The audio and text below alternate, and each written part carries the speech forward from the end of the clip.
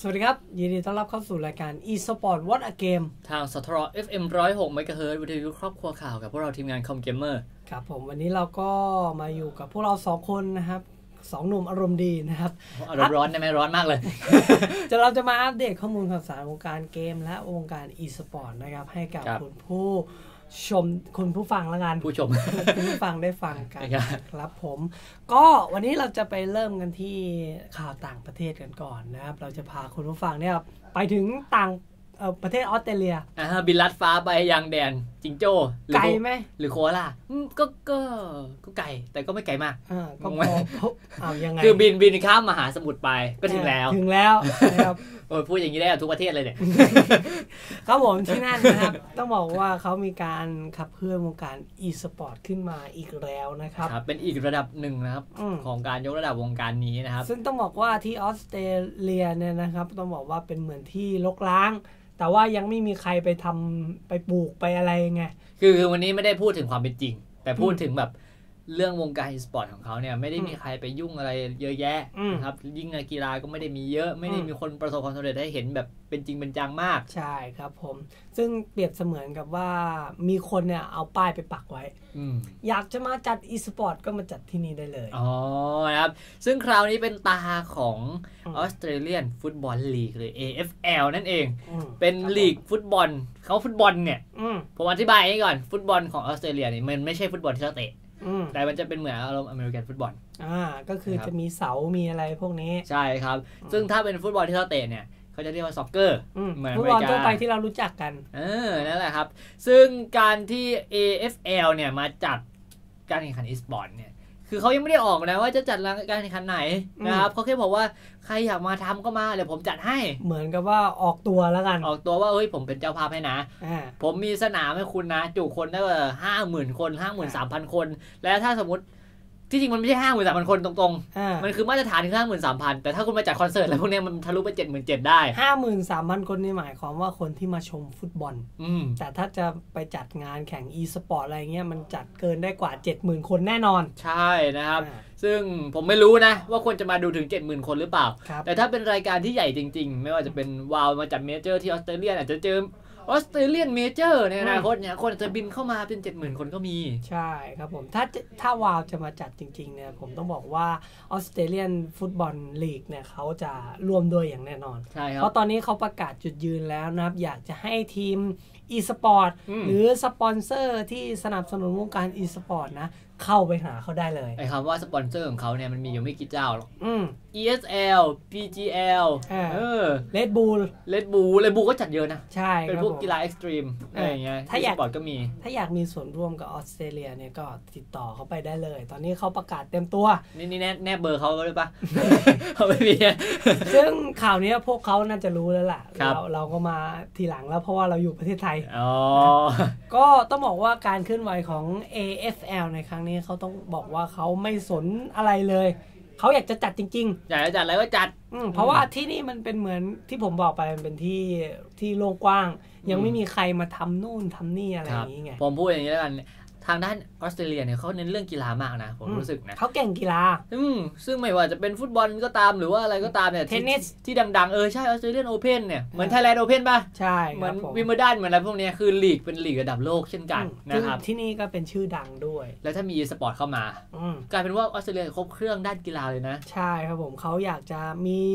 เขาเรียกอะไรมิติใหม่อืมแล้วก็ทำให้คนรู้จัก ออสเตรเลียนฟุตบอลลีกด้วยครับซึ่งไงงานตรงเนี้ยที่จะเป็นเจ้าภาพในงานจัดเนี่ยที่มีสนามเรียบรองรับเรียบร้อยแล้วเนี่ยอยู่ที่เมลเบิร์นอืมเป็นเมืองใหญ่ของออสเตรเลียเลยครับผมอืมนะครับ ดังนั้นถ้าใครใครใครใครรู้จักคนแบบคนอยากคนเติบมเออ ไปติดต่อเขาดูได้มไม่แน่นะ Garena Thailand เราไปจัดเออแข่ง HoN ที่นู่น เอาเอาไปเล่นเอาไปเล่น HoN ฝรั่งก็เล่นอยู่อืมก็เป็นไปได้อยู่เหมือนกัน ซึ่งต้องบอกว่าสื่อที่บ้านเขาเนี่ยเขาตีข่าวกันว่าเอ่อ AFL เนี่ยออกมาเนี่ยโดยไม่สนกระแสอะไรทั้งสิ้นเลยอืมถึงแม้ว่าเอ่อคนทั่วโลกเนี่ยยังไม่ได้บอกว่าเป็นอีสปอร์ตเป็นกีฬาอย่างเต็มปากเต็มคำครับอืมก็ถึงแม้จะมีในส่วนของเข้าไปอยู่ในเอเชียนเกมครับก็มีบ้างแต่ว่าก็ยังไม่ถึงโอลิมปิก ใช่ โอลิมปิกยังพิจารณากันอยู่นะครับอืมแล้วนอกจากนี้นะครับคน Australian ที่แบบ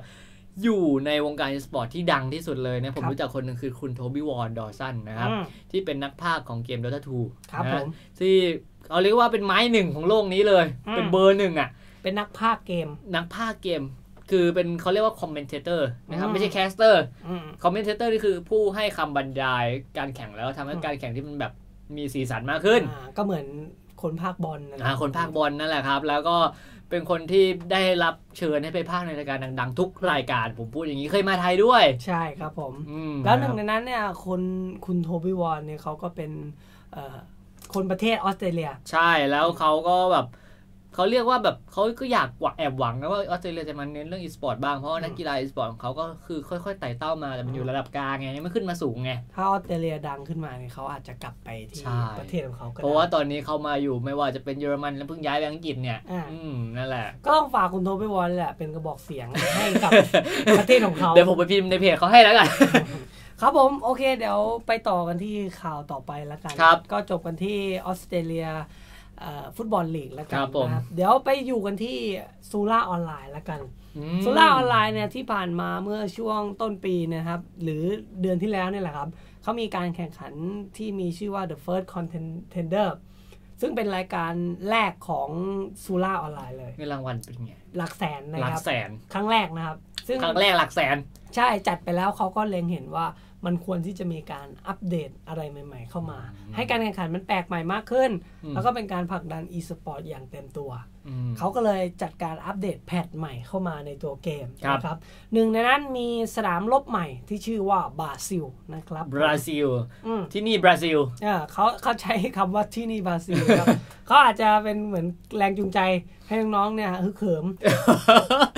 ก็คือคำว่าที่นี่บราซิลเนี่ยมันอยู่อืมในเรื่อง Fast and Furious ใช่ไหมครับภาคหนึ่งใช่ไหมครับ ที่อืมโดมินิกโทเรโตเขาคุยกับ The Rock อืมนะว่าอย่ามายุ่งกับผมกฎหมายทำอะไรผมไม่ได้อ่าที่นี่บราซิลเขาก็อาจจะสื่อสื่อสารประมาณนี้แล้วกันใช่ให้กับครับผู้เล่นได้รับรู้ ซึ่งต้องบอกว่าสนามเนี้ยจะได้บรรจุเข้าไปใน e-sport ด้วยนะครับผมอ่าภายในสนามรบนี้มันจะเป็นเรื่องราวของวิถีชีวิตของชาวบราซิลนะครับ เป็นยังไง ไม่ว่าจะเป็น เขาเรียกอะไรเขาอยู่ตามชายหาดไหมเออเออมันจะมีชายหาดริโออะไรพวกเนี้ยริโอเขาจะเอาบรรยากาศพวกนั้นมาไว้ข้างในอ่าแล้วก็ไม่ว่าจะเป็นพวกกราฟฟิตี้อ่าเป็นรูปพวกนักฟุตบอลอะไรพวกเอนี้อนะพ่นสีไว้ที่กำแพงอ่าถ้าสวยๆถ้าเรางามเคยดูฟุตบอลโลกที่ลิโอ ก็จะคุ้นเคยกับบรรยากาศอืมเขาจะเอาบรรยากาศอย่างนั้นแหละ มาไว้ในสนามอืมแล้วนอกจากนี้มีอะไรอีก มีทั้งด้านของโหมดใหม่หมดไหมโหมดอารีนานะครับ โหมดนี้ค่อนข้างที่จะคล้ายๆ e-sport อย่างเต็มตัวเลยอืมเพราะว่าเป็นโหมดที่ให้ผู้เล่นเนี่ย เสียเงินเข้าไปเล่นเอ้ยเสียเงินเสียเงินในเกมนะเออเราหาได้ไม่ต้องเติมก็ได้อ๋อเสียเงินในเกมเข้าไปเล่นแข่งขันกับคนในเกมอืมเป็นรอบรอบอืมรอบละประมาณ 10 คนหนึ่งในนั้นเนี่ยถ้าใครได้ที่หนึ่งเนี่ยคุณจะได้รับของรางวัล ที่หนึ่งเนี่ยคือมาจากเด a แมทปะเอ่อ ยังไงแบบทุกคนเป็นศัตรูกันใช่ไหมเป็นเป็นศัตรูกันครับผมอ๋อก็คือมันจะมีภารกิจให้ทำเอามีภารกิจด้วยเอ่ออยู่ข้างในนะครับอืมก็ต้องไปเลือกกันว่าเราอยากเล่นแบบไหนแบบไหนอะไรออ๋อย่างมีนี้ข้างในอีก แต่ว่ามันก็เหมือนอีสปอร์ตตรงที่ว่าคนที่ได้แชมป์นี่ก็จะได้ของรางวัลเยอะแยะมากมายเลยครับส่วนคนที่ไม่ได้แชมป์